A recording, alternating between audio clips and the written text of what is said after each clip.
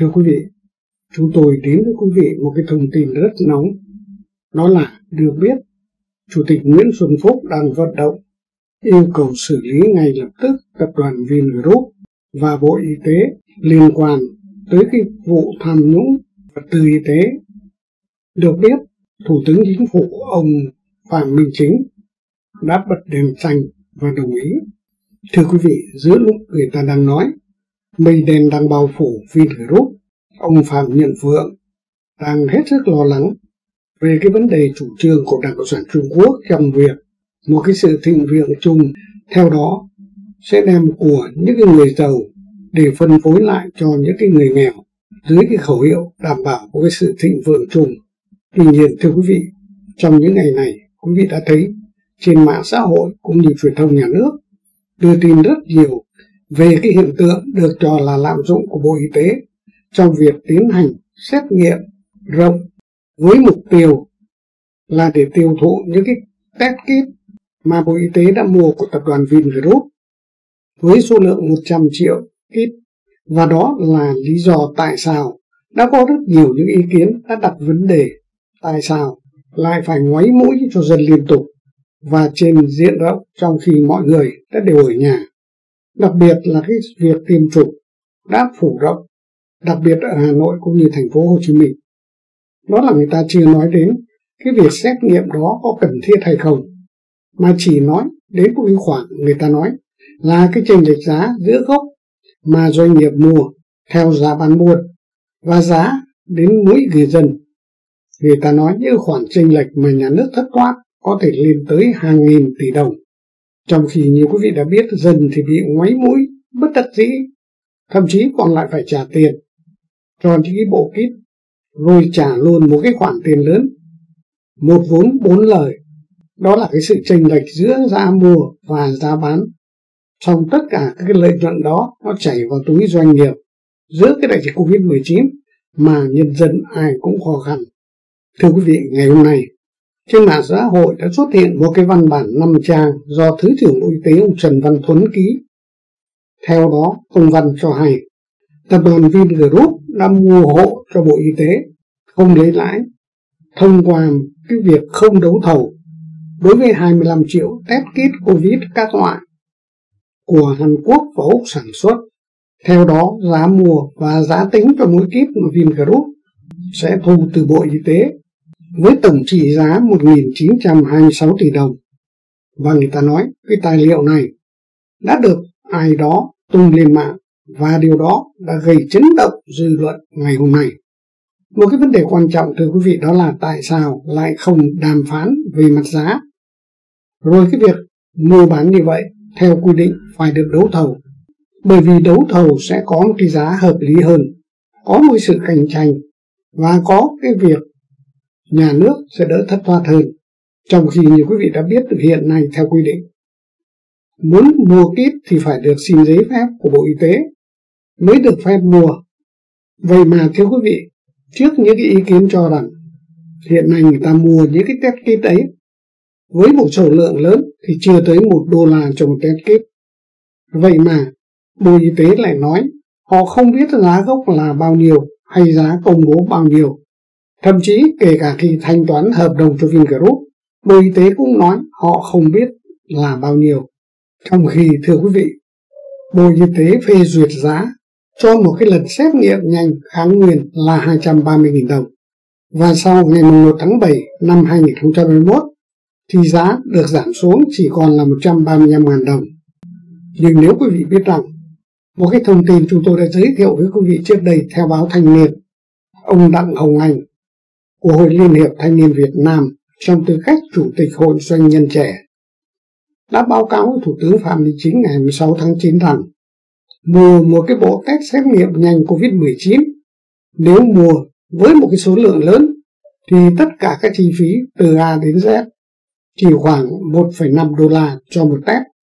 Tức là quy đổi thành tiền Việt Nam nó khoảng 35.000 đồng cho một test vẫn theo Đặng Hồng Anh cho hay giá 1,5 đô la test là giá mua tại nước ngoài rồi tính tất tần tật các chi phí khi hàng hóa về đến Việt Nam kể cả tiền kho bãi các chi phí khác Thưa quý vị, có một cái điều quý vị sẽ giật mình nếu quý vị biết rằng ông Đặng Hồng Anh là con trai của ông Đặng Văn Thành, cựu chủ tịch hội đồng quản trị ngân hàng Thương Tín tức Sacombank, là một đàn em của chủ tịch nước Nguyễn Xuân Phúc. Thưa quý vị, lâu nay người ta cứ nói công tác đoàn thanh niên thường dành cho các cái con ông cháu cha, đó là các cái quan chức Đảng Cộng sản Việt Nam, những con cái của họ sẽ nối nghiệp cha. Nhưng bây giờ ông Đặng Hồng Anh, con trai của ông Đặng Văn Thành, là một cái người kinh doanh nổi tiếng, từng là chủ Sacombank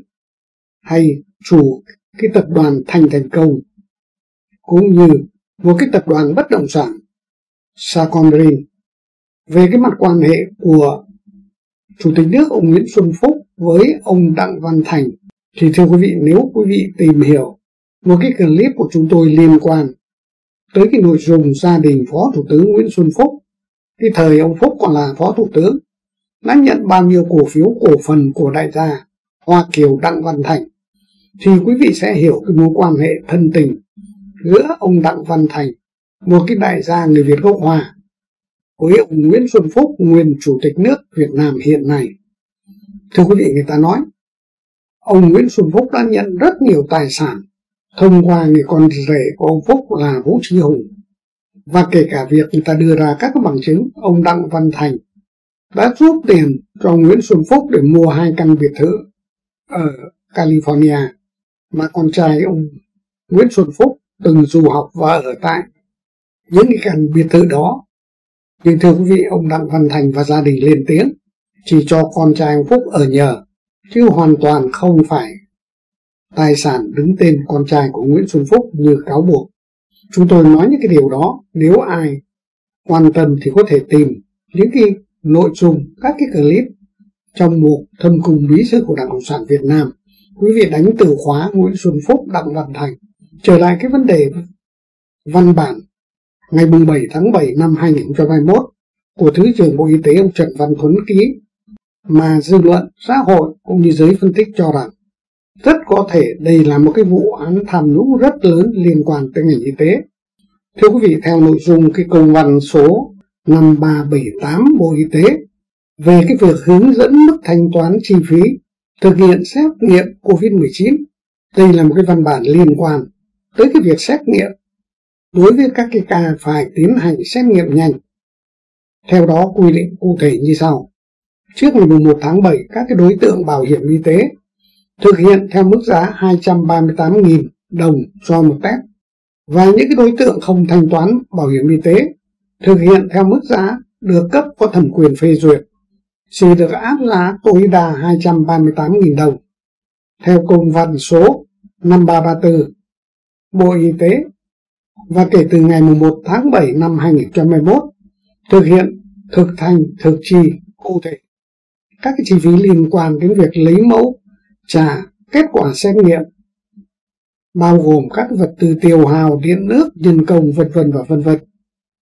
thì sẽ được các cơ sở y tế chi và quyết toán theo phân cấp của ngân sách nhà nước. Tuy nhiên, thưa quý vị, trong cái văn bản do Thứ trưởng Bộ Y tế ông Trần Văn Minh ký, theo Trần Văn Minh đã giải thích với Phó Thủ tướng ông Lê Minh Khái rằng Vingroup không phải là nhà thầu. Hơn thế nữa, Vingroup không có kinh nghiệm trong việc bán sinh phẩm xét nghiệm. Do vậy, Bộ Y tế đề xuất cần phải áp dụng một cái phương thức lựa chọn nhà thầu trong trường hợp đặc biệt quy định theo điều 26 của luật đấu thầu. Thưa quý vị, nghĩa là ông Trần Văn Minh đưa ra một ý kiến xin một cái trường hợp ngoại lệ đặc biệt cho Vingroup mà phải không phải thông qua đấu thầu. Theo cách giải thích của Thứ trưởng Bộ Y tế ông Trần Văn Minh cho hay, đó là một cái hình thức mua sắm tương tự như việc chính phủ đã áp dụng để đặt mua vaccine của công ty VNVC mua 31 triệu liều vaccine AstraZeneca để phục vụ cho chương trình tiêm chủng mở rộng. Thưa quý vị, cái nội dung vừa kể nó nằm ở trang tư của cái công văn 7263 Bộ Y tế. Về việc xin ý kiến một cái phương án lựa chọn nhà thầu. Trong trường hợp đặc biệt để mua sinh phẩm xét nghiệm SARS-CoV-2 ký ngày 1 tháng 9 năm 2021 gửi đồng chí Lê Minh Khái, Phó Thủ tướng Chính phủ. Một cái điều đáng chú ý thưa quý vị đó là trong văn bản đã thể hiện hai dòng in đậm ghi rõ Vingroup không phải là nhà thầu, không có kinh nghiệm trong cái việc bán sinh phẩm xét nghiệm là dạng đúng như trong công văn vừa kể. Một cái lưu ý tiếp theo, công ty VNVC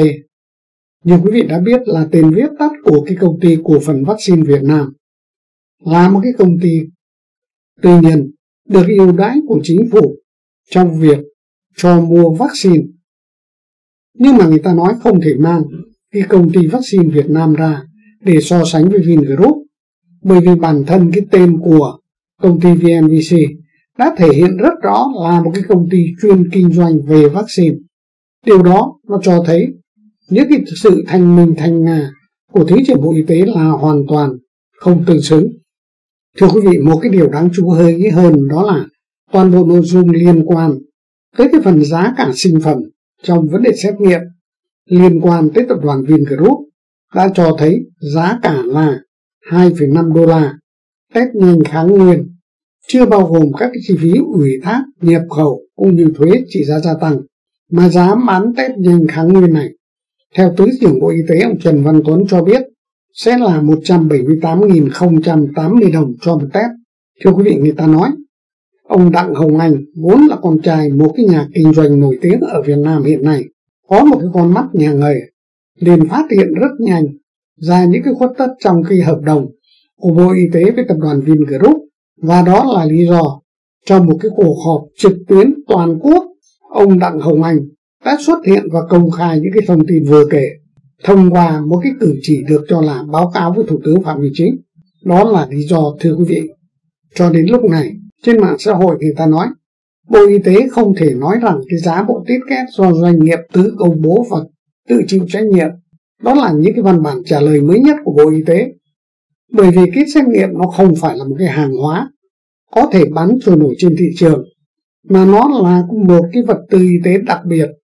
bắt buộc người dân phải dùng, đặc biệt là phần lớn do ngân sách chi trả. Vậy mà tại sao Bộ Y tế lại nói rằng Bộ Y tế hiện nay không đàm phán cũng như không kiểm soát giá thiết bị y tế do chưa có quy định thì căn cứ vào đâu. Mà ai cũng biết khi muốn mua cái bộ test cũng như các cái loại vaccine nhập khẩu số lượng lớn bắt buộc phải được phép của Bộ Y tế. Hoặc có thể Bộ Y tế sẽ thay mặt hay tham gia đàm phán với các cái nhà sản xuất hoặc các cái doanh nghiệp kinh doanh. Tại sao Bộ Y tế lại nói họ không kiểm soát giá cũng như không có quy định cho Bộ Y tế thực hiện cái điều vừa kể. Đó là lý do người ta nói Vingroup là một cái tập đoàn kinh doanh đa ngành mà đã là doanh nhân thì Vingroup cũng như ai khác, bắt buộc phải tìm kiếm lợi nhuận. Nhưng trong cái vụ ngoáy mũi người dân hiện nay, thì có nhiều ý kiến phản đối và nói rằng Vingroup đã lợi dụng cướp tiền của người dân trong một cái hoàn cảnh ai ai cũng khó khăn. Một cái hành động tham lam của Phạm Nhật Vượng, là một cái điều không quá sức và ai cũng không thể chấp nhận được. Và đó là lý do người ta tin tưởng Vingroup đợt này khó có thể thoát nạn. Bởi vì lâu nay, thưa quý vị, một số người cứ cho rằng ông Phạm Nhật Vượng có một cái khối tiền khổng lồ. Không bao giờ. Và cho đến bây giờ vâng, và Phạm Nhật Vượng đến bây giờ kinh doanh vì đất nước chứ không phải vì lợi nhuận. Thưa quý vị, đó là những cái biện hộ hão huyền mà người kinh doanh người ta luôn luôn hy vọng là kinh doanh có lãi với những người kinh doanh thì tiền không biết bao giờ là đủ. Đừng bao giờ mang ra những lý thuyết cho rằng Phạm Nhật Vượng kinh doanh vì đất nước. Thưa quý vị trở lại cái vấn đề kinh doanh của tập đoàn Vingroup của tỷ phú Phạm Nhật Vượng. Theo Reuters ghi nhận cho biết, tập đoàn Vingroup có giá trị thị trường hiện nay khoảng 13 tỷ đô la Mỹ và công bố doanh thu nửa năm đầu 2020 là 1,7 tỷ đô la. Lợi nhuận ròng nửa đầu năm 2020 của Vingroup đã giảm xuống 60%, còn sấp xỉ 53,3 triệu đô la Mỹ, tương đương với 1.350.000 tỷ đồng. Thưa quý vị, đó là kết quả kinh doanh nửa năm. Thì Vingroup thu lợi nhuận khoảng 58,3 triệu đô la, tương đương với 1.350.000 tỷ. Nhưng mà thưa quý vị, đó là những cái thống kê về mặt sổ sách kế toán còn thực chất Vingroup, kinh doanh lỗ lã ra sao thì cứ nhìn vào lý do tại sao Vingroup trong những năm gần đây đã rút ra khỏi các cái thị trường bán lẻ rồi mới đây nhất là chấm dứt sản xuất điện thoại, smartphone và TV cũng như các cái mảng kinh doanh mà trước đây Vingroup đã đầu tư những cái khoản tiền tới hàng chục nghìn tỷ đồng và cuối cùng đã phải dẹp tiệm. Vậy một cái vấn đề chính ở đây đó là gì? Thưa quý vị, từ trước đến nay, Vingroup chỉ có một nguồn thu duy nhất gọi là có lãi, đó là kinh doanh bất động sản. Và đến nay, cái thị trường bất động sản có những dấu hiệu bão hòa nhưng một cái vấn đề quan trọng hơn Vingroup không muốn bị ràng buộc vào các cái quan chức cấp cao. Tức là để cho người ta ăn chia với Vingroup là những cái điều hết sức nguy hiểm và những cái chế độ độc tài đặc biệt là cộng sản người ta cứ vỗ béo cho các cái đại gia tỷ phú rồi người ta sẽ làm thịt. Một cái ví dụ mới đây nhất ở Trung Quốc, đó là tỷ phú Jack Ma. Một người có cái tập đoàn Alibaba với một cái lợi nhuận khổng lồ. Thậm chí ban lãnh đạo đảng sản Bắc Kinh còn lo ngại Alibaba có thể lấn át quyền lực của đảng. Đó là lý do vì sao đầu năm 2021 ông Tập Cận Bình đã có những cái quyết định trừng trị hay nói đúng hơn là trừng phạt đối với tỷ phú Jack Ma của Trung Quốc. Và trong những cái hình ảnh mới đây xuất hiện trên truyền thông quốc tế, thì Jack Ma đã gầy, đen tới cái mức mà người ta không nhận ra được. Và đó cũng là những cái dấu hiệu báo động cho tỷ phú Phạm Nhật Vượng. Và những cái việc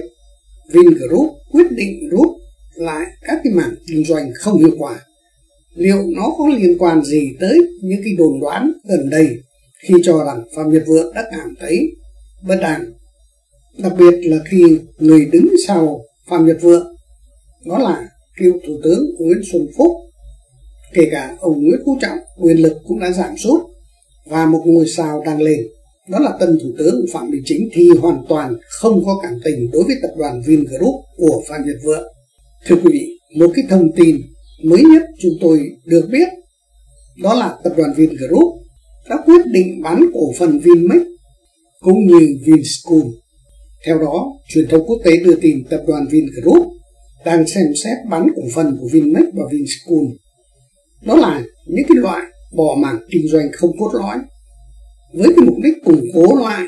cũng như cân đối tài chính trong bối cảnh mà lợi nhuận của Vingroup sụt giảm một cách nhanh chóng theo Reuters cho biết, có những cái nguồn tin khả tín cho biết Vingroup, một cái tập đoàn lớn nhất Việt Nam, đang xem xét để bán Vinschool trong cái lĩnh vực giáo dục tư thục và Vinmec có làm chuỗi bệnh viện tư nhân của tập đoàn này và người ta xác định chủ sở hữu mới sẽ là quỹ đầu tư của chính phủ Singapore đã quyết định mua cổ phần của Vinmec với một cái giá khoảng 200 triệu đô la. Tuy nhiên, trong một cái thông cáo báo chí mới đây, Vingroup từ chối cho biết số lượng cổ phần được bán với lý do đó là một cái sự cam kết giữa đối tác và Vingroup. Được biết hiện nay Vinmec đang điều hành 7 bệnh viện và 5 phòng khám sang trọng tại Việt Nam. Thưa quý vị, chỉ một năm trước đây, người Việt Nam tự hào khi cho rằng người ta có thể sinh ở bệnh viện Vinmec, học ở trường Vinschool, sống ở trong căn hộ Vinhome và lái xe ô tô VinFast để đến siêu thị Vinmart để shopping. Tuy nhiên, thưa quý vị, những cái thông tin này là một cái thông tin hết sức xấu khi tập đoàn Vingroup đã phải bán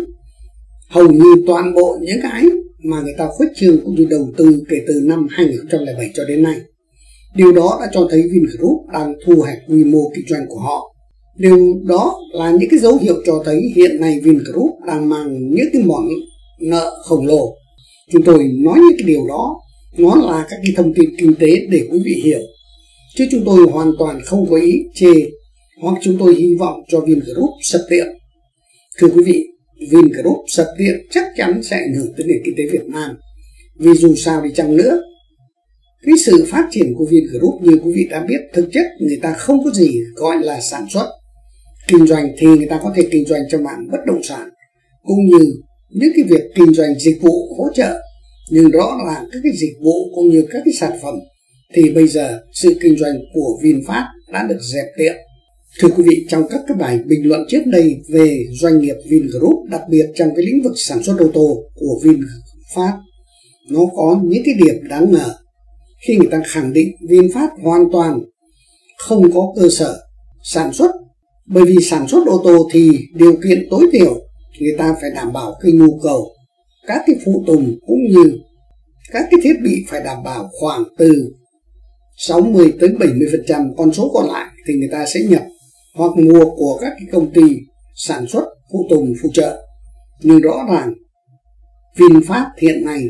100% làm phụ tùng từ nhập từ ngoại quốc. Và VinFast chỉ có một cái dây chuyền sản xuất, tức là lắp ráp ô tô mà thôi. Mà để có được những cái hệ thống cơ sở thì VinFast chỉ cần xin đất của nhà nước, sau đó bán một phần lấy tiền để xây dựng những cái cơ sở đó. Đó là lý do người ta khẳng định sự sản xuất của VinFast trong lĩnh vực ô tô hoàn toàn không có cơ sở.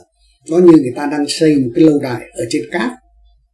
Và tất cả những cái ô tô của VinFast hiện nay chủ yếu là sử dụng cái phụ tùng ô tô sản xuất tại Trung Quốc. Nói một cách rõ nghĩa hơn là VinFast là một cái cơ sở ảo thuật trong cái việc sản xuất ô tô ở Việt Nam người ta biến ô tô Trung Quốc thành sản phẩm của Việt Nam để xuất khẩu sang quốc gia khác, đặc biệt là thị trường Hoa Kỳ khi mà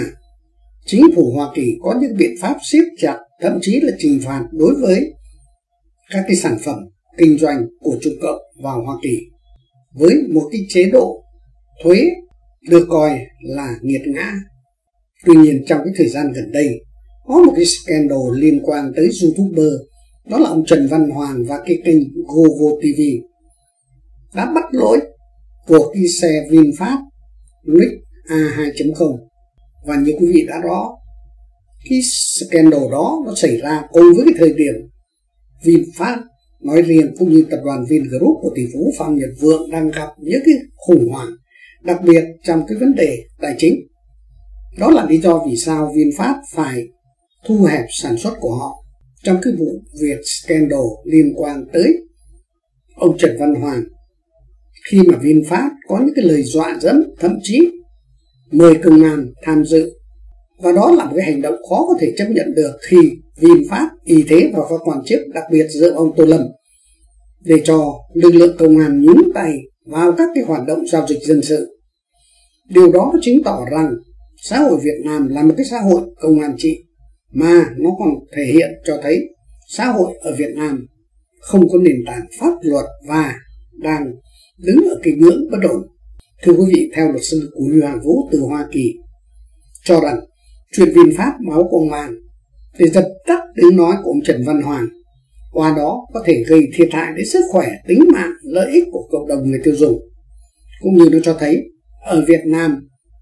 người ta đã sử dụng các cái biện pháp bạo lực để chấn áp những ý kiến khác biệt. Mà đây nói lại là một cái ý kiến của người tiêu dùng, chứ nó không liên quan gì tới cái vấn đề kinh tế. Đây là một cái giao dịch dân sự. Người tiêu dùng không thỏa mãn với chất lượng hàng hóa mà họ bỏ tiền ra mua.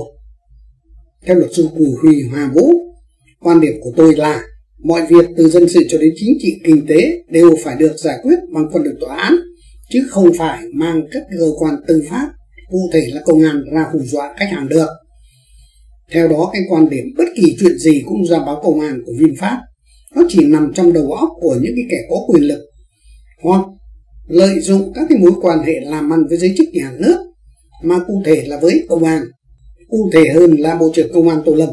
Vinfast hy vọng họ muốn dựa vào tô lâm để bảo vệ quyền lợi xấu xa của họ. Chứ còn nếu nó là quyền lợi chính đáng, thì họ phải tuân thủ luật pháp bằng cách đưa cái vụ việc đối với ông Trần Văn Hoàng ra tòa mà đây là tòa dân sự với tất cả các bằng chứng để có thể đảm bảo chứng minh rằng ông Trần Văn Hoàng vu khống. Vẫn theo tiến sĩ của Huy Hà Vũ, cho đến bây giờ việc công an vào cuộc tham gia vào những việc đàn áp những tiếng nói phản biện xã hội, kể cả những ý kiến trên Facebook cũng xử lý, nhẹ thì phạt vài trăm đô la, nặng thì người ta truy tố và xét xử với các cái bản án từ 5 tới 7 năm tù. Điều đó nó chứng tỏ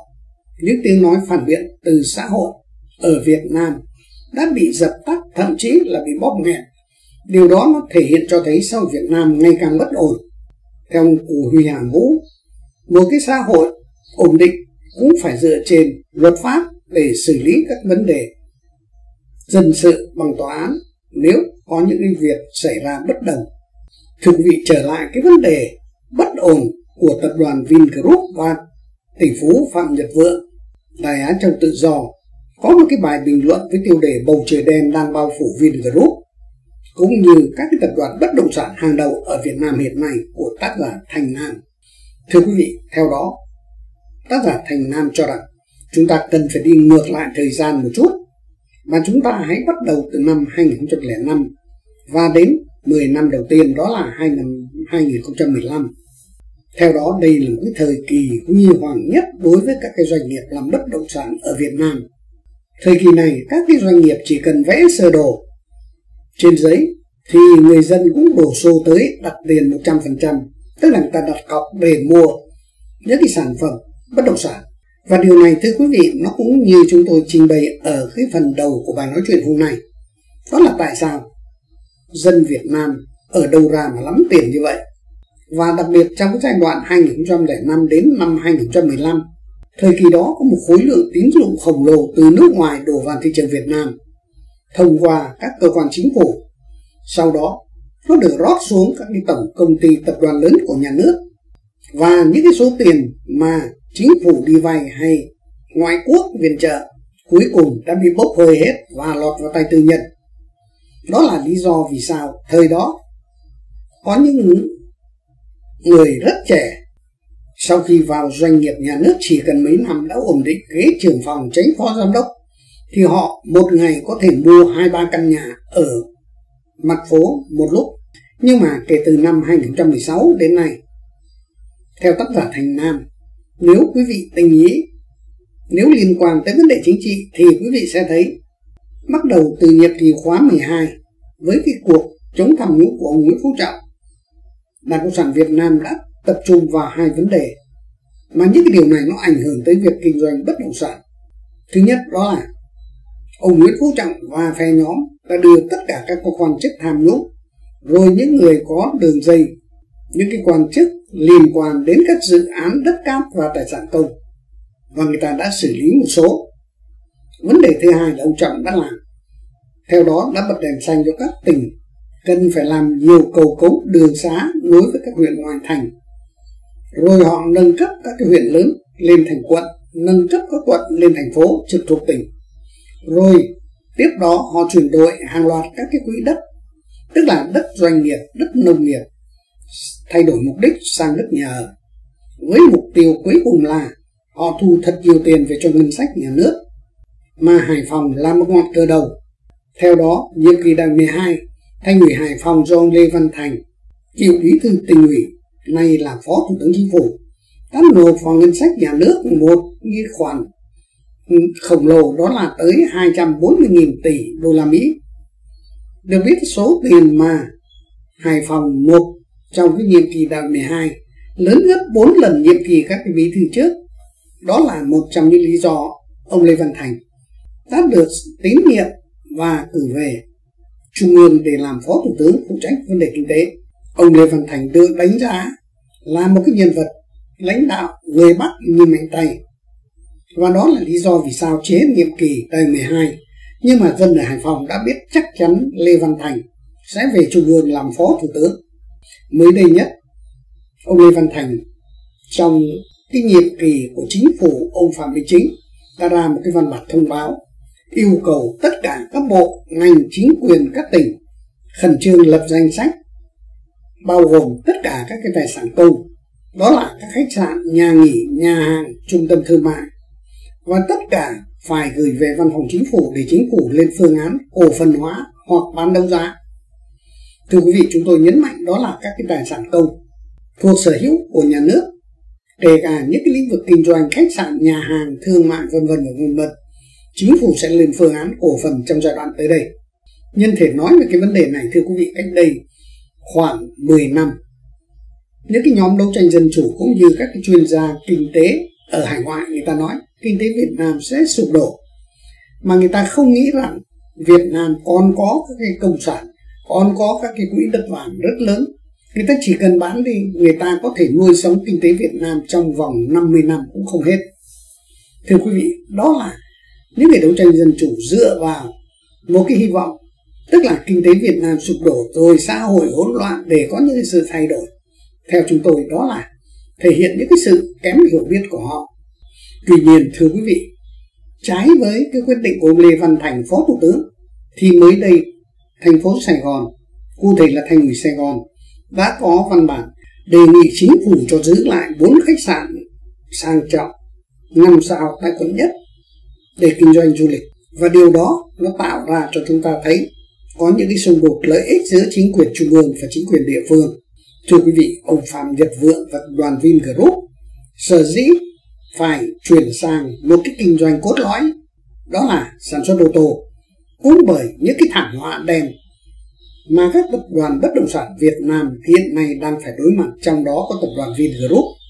Thứ nhất, về thị trường đầu vào, nếu quý vị biết rằng chỉ từ năm 2016 cho đến nay, chủ trương của nhà nước sẽ bùng ra một cái lượng quỹ đất để làm nhà ở sẽ gấp 4 lần lượng quỹ đất đô thị tại các tỉnh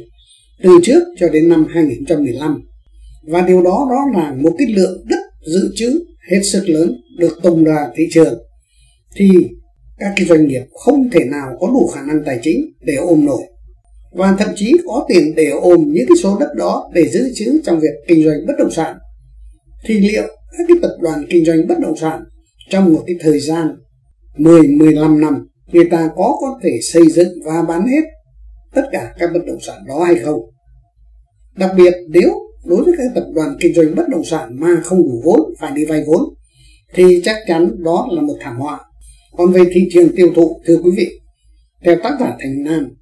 nếu nhìn về góc độ kinh tế, thì những người dân sống tại các cái khu đô thị ở Việt Nam hiện nay